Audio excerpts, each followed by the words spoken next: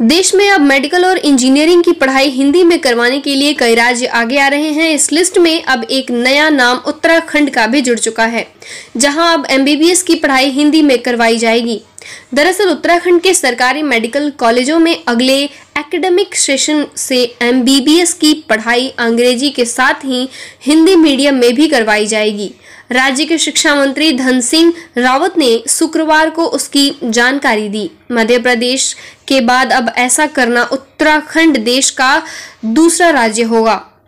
शिक्षा मंत्री ने कहा इसके लिए प्रदेश के मेडिकल एजुकेशन विभाग ने पौड़ी ज़िले के श्रीनगर स्थित राजकीय मेडिकल कॉलेज के प्राचार्य doctor C M S Rawat की अध्यक्षता में एक चार दिवसीय सदस्यता विशेष समिति का गठन कर दिया गया है। मंत्री के मुताबिक, यह समिति मध्य प्रदेश सरकार के मेडिकल कॉलेजों में लागू एमबीबीएस के हिंदी पाठ्यक्रम का अध्ययन कर उत्तराखंड के कॉलेजों के लिए नए सिलेबस का मसौदा तैयार करेगी।